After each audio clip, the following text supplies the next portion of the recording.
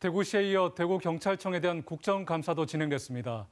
대구시와 마찬가지로 퀴어 축제 충돌과 관련한 질의가 쏟아졌습니다. 홍준표 대구시장의 선거법 위반 의혹 수사가 왜 늦어지는지 따져 물었고 일단 경찰 비위에 대한 질책도 나왔습니다. 이어서 한태영 기자입니다.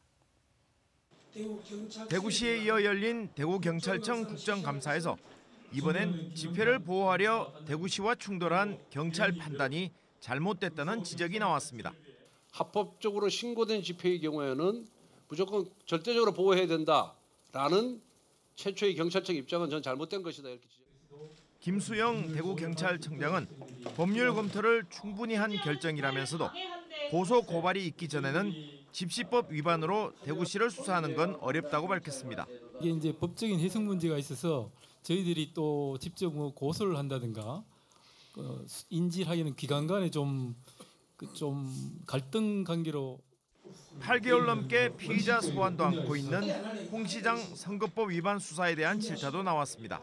예, 상부의 지침을 기다리고 있는 것으로 보인다. 뭐 이런 보도가 있었는데 이게 사실입니까?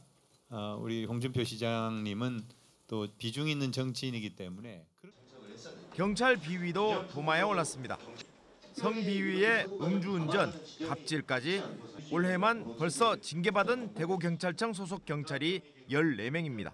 주택가에서 음란 행위를 하다가 발각돼 붙잡히기도 했고 그리고 어, 현직 경찰 간부에 대해서 어, 갑질 경찰이 이런 정말 몰상식한 행위를 할 수가 있는가? 오후 2시에 시작한 대구경찰청 국감은 1시간 만에 끝나면서 보여주기식 맹탕 감사에 그쳤다는 지적도 나왔습니다. MBC 뉴스 한태현입니다.